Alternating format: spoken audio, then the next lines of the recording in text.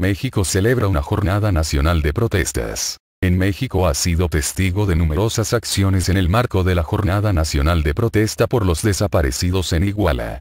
En algunas de ellas, como en la de Ciudad de México, se han producido enfrentamientos entre manifestantes y la policía. Para este jueves se han convocado decenas de acciones de protesta en México por los 43 estudiantes desaparecidos en Iguala, a las que se sumaron otras tantas en todo el mundo.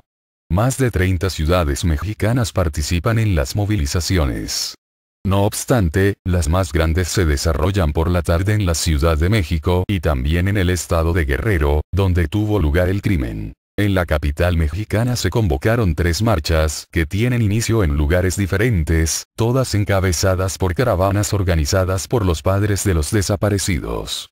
Las caravanas estuvieron recorriendo el país durante el transcurso de la última semana y se unen en el Zócalo. Por la tarde en algunas partes de la Ciudad de México se han registrado enfrentamientos entre encapuchados y policías.